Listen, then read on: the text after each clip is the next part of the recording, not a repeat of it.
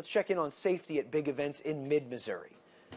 The city of Columbia has several summer events that bring many people from all over the city. And another new summer event is right now up for discussion and a vote at the Columbia City Council meeting.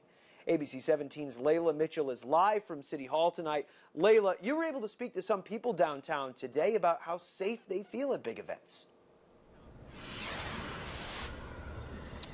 Yeah, Lucas. And people I spoke to downtown today told me they're uneasy when going pretty much anywhere after the recent mass shootings. And one resident said that even last night at Fire in the Sky, the fireworks event in Columbia, he felt uneasy and wasn't sure what was going to happen.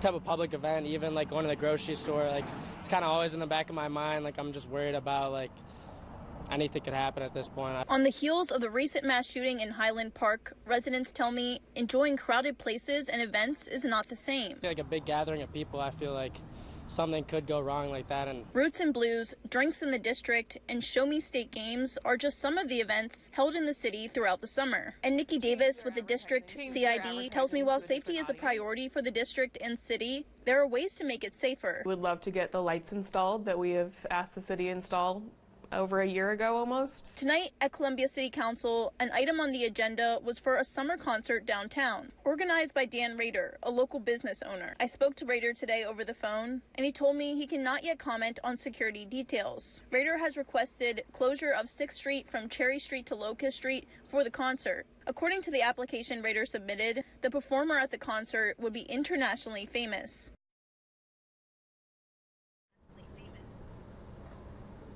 And I reached out to Columbia Police to learn more about their safety measures when they work a lot of the events downtown.